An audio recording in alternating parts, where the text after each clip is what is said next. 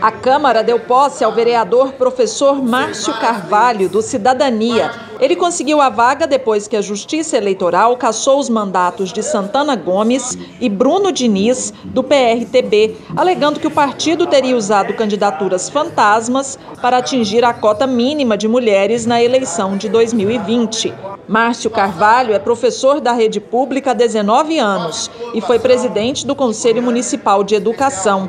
O vereador falou sobre as prioridades do mandato. A minha expectativa é fazer valer o voto que me trouxe aqui, né? O mandato. Minha bandeira é educação, eu, é, é a bandeira que eu, que eu já tenho militado há muito tempo.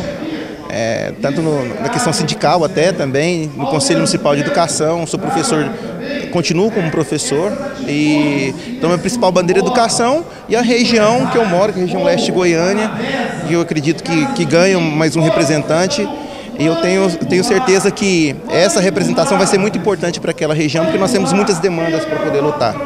O senhor defender. vem para integrar a base do prefeito ou para fazer oposição?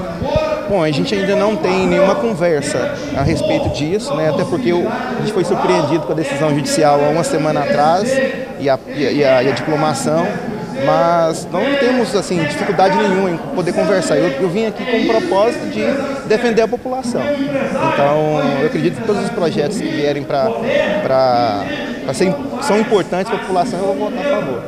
Câmara Municipal de Goiânia, a voz que vem do cidadão.